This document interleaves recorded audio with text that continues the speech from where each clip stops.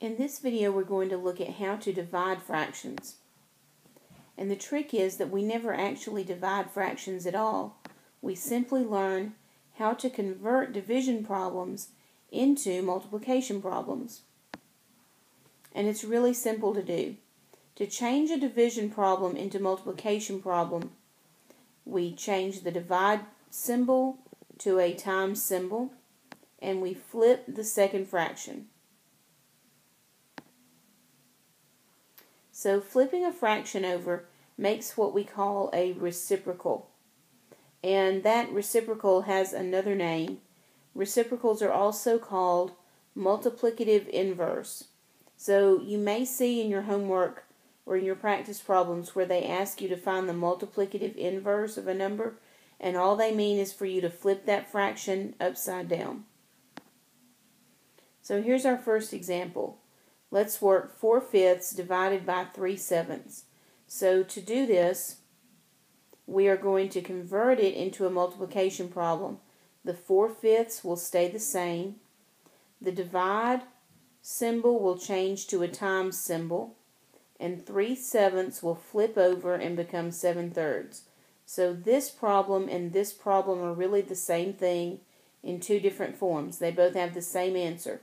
So this one's easier to work. So that's why we do this. We'll At this point, we'll look for any top or bottom matches we could cross out. And there aren't any here. So we'll just do top times top is uh, 4 times 7 is 28. And bottom times bottom gives us 5 times 3 is 15. And here we have an improper fraction. And we're just going to leave this improper because we don't have any mixed numbers in the problem so we don't need to put our answer into mixed number form.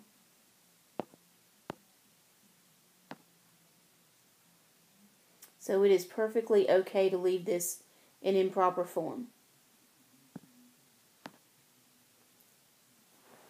So just as a reminder, any simplifying must be done while you're in multiplication form.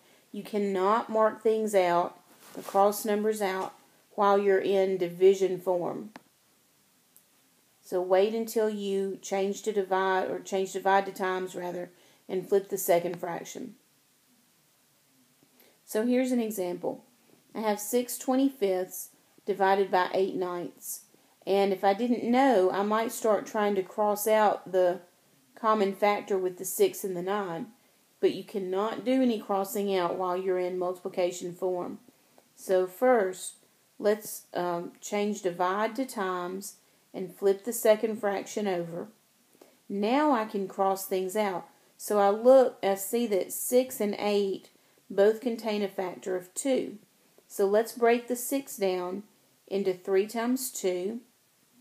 And uh, I could break 25 down into 5 times 5, but since there are no 5 factors in the top, that's really not helpful.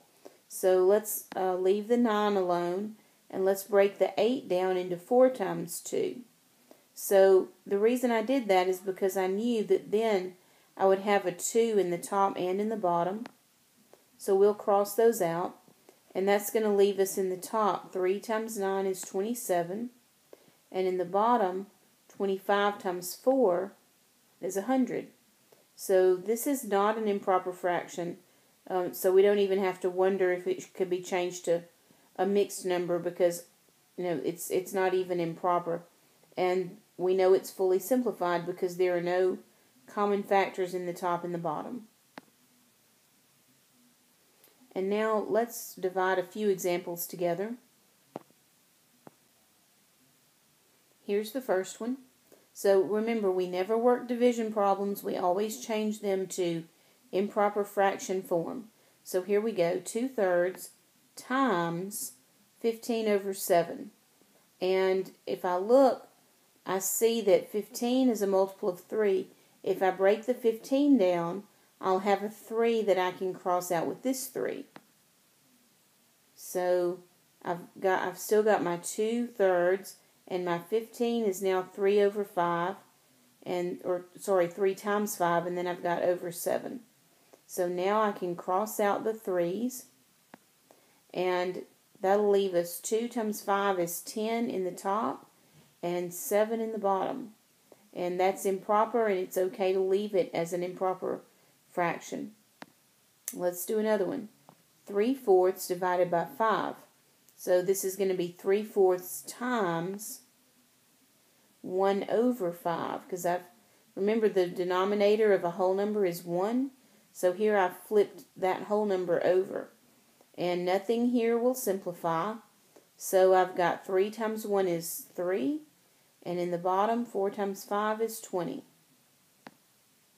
okay third example 5 fourths times or divided by rather 5 fourths divided by 3 eighths let's uh, leave the 5 fourths alone change divide to times, and flip the second fraction. And now, do you see anything that will cancel in the top and the bottom? And I do, because we can break down 8 into 2 times 4. If I do that, the 4 I get here will cancel this 4. So here I've got 5 times 8. So I've broken it down into 5 times 4 times 2. And in the bottom, of course, 4 times 3. These 4s will now cancel. And in the top, then, I get 10. And in the bottom, 3. And one last example on this page. Let's do 2 thirds divided by 3. So that's going to become 2 thirds times 1 over 3. Now that I've got it in multiplication form, I can see that the 3's won't cancel at all because they're both in the bottom. So I'm going to end up here with 2 times 1 is 2, and 3 times 3 is 9. Now we're going to work a couple of examples that have mixed numbers in them. So remember, on all mixed number operations, we always change the mixed numbers to improper fractions before we start. That's the only thing we're adding here. So let's look at 4 and 3 fourths divided by 1 and a half. So the first thing is to change them to improper fractions. 4 times 4 is 16. 16 plus 3 is 19. So that's 19 fourths. 2 times 1 is 2, and 2 plus 1 is 3, so that's going to be 3 halves. So notice at this point it's still a division problem. All I've done is change the mixed numbers to improper fractions, but it's still division. So the next thing I have to do is change the division problem to a multiplication problem. So we'll change divide to times and we'll flip the 3 halves over and get 2 thirds. Now I want to see if I can cancel out any top-bottom pairs and I see that here 4 is made of 2 times 2. So if I factor that 4 into 2 times 2, I'll have 2's in the bottom and a 2 in the top and we can cancel a pair of 2's and that's going to leave us 19 in the top and in the bottom 2 times 3 is 6. Now this would be okay to leave it this way if this were not a mixed number problem, but we'll need to switch this back into mixed number form. So I'll say 6 will go into 19 three times with one piece left over. And so this makes 3 and 1 sixth. And here's a second example for you. 3 and 3 eighths divided by 2 and 1 fourth. Let's convert 3 and 3 eighths to a improper fraction. And that's, uh, let's see, 8 times 3 is 24. Add the extra 3 on top. That's going to make 27 over 8. Divided by 4 times 2 is 8, and 8 plus 1 is 9.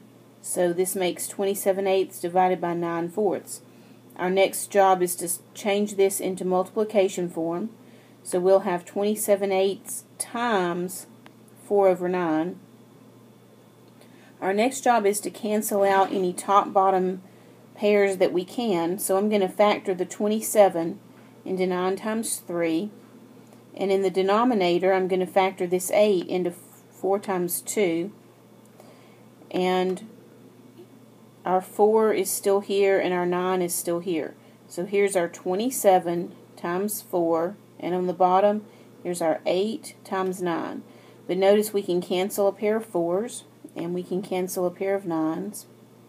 And all that leaves us with is 3 over 2. But we need to change it back into a mixed number because our problem was a mixed number problem. So 2 will go into 3 once with 1 left over. So that makes 1 and a half.